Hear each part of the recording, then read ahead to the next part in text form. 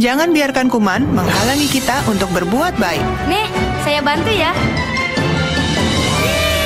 Putuskan rantai penyebaran kuman. Detol sabun keluarga berikan 100% perlindungan lebih baik, selalu terlindungi untuk berbuat baik.